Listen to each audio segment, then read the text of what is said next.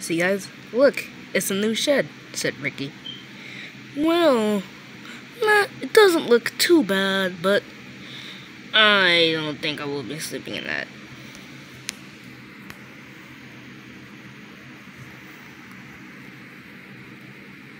Shed looks cool. Doesn't look too bad. I like sleeping in the open, said Reginald. Well, not engines like not all engines I mean like to sleep out in the open, said Derek. The skinny controller did say there is room for at least one engine in that thing. Well, let me try it out, said David. Then David backed up into the shed. The shed was nice, and the shed was small, but David could fit in it. And he tried, but he stopped. Uh, guys, I really don't think I can fit in this thing. Come on, back up a little bit more. Okay. Hey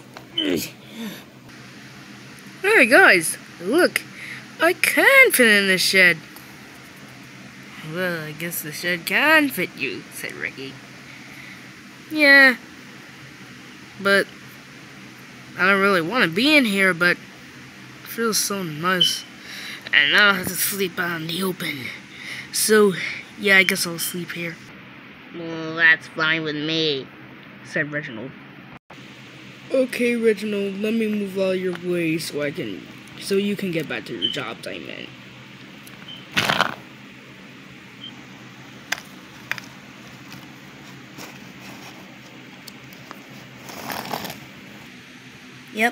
From now on, I'm sleeping out in the open.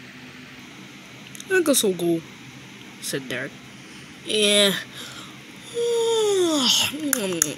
I'm a little tired, said Ricky and they both left the yards. Finally, some peace and quiet. Next morning, David felt better. I might have to sleep here for the rest of my life. Feels so good sleeping in there. But I gotta do my jobs. Well, I'm off to collect my coaches. Later that day, David collected his coaches and set off.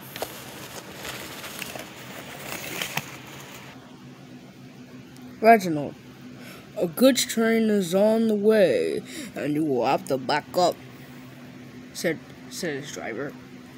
Well, okay, said Reginald as he backed up. But he backed up too far and fell off the track. Oh man, not again. Uh, hey David? Yeah? Reginald has derailed, and I'm too busy to uh, save him, so can you please uh, save him for me? But my coaches, for you. You can come back to get your coaches. Just please help them.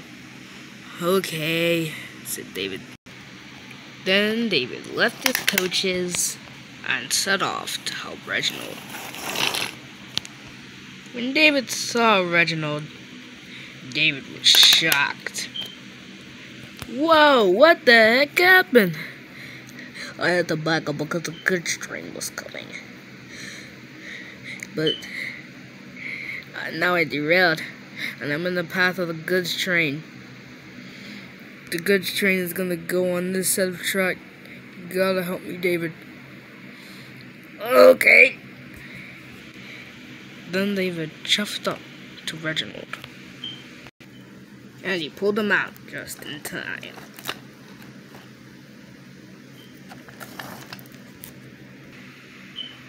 Thanks, David, said Reginald. No problemo, said David. But I gotta get back to work. So, goodbye. Okay, I guess I should get back to work too. Then, after a hard day of work, David went back to the shed to rest. Hmm, I like the shed, but maybe it should be, be a bit larger and spaced out. Yeah, that would be good. Larger, more spaced out shed to give me some more room. Then David fell asleep.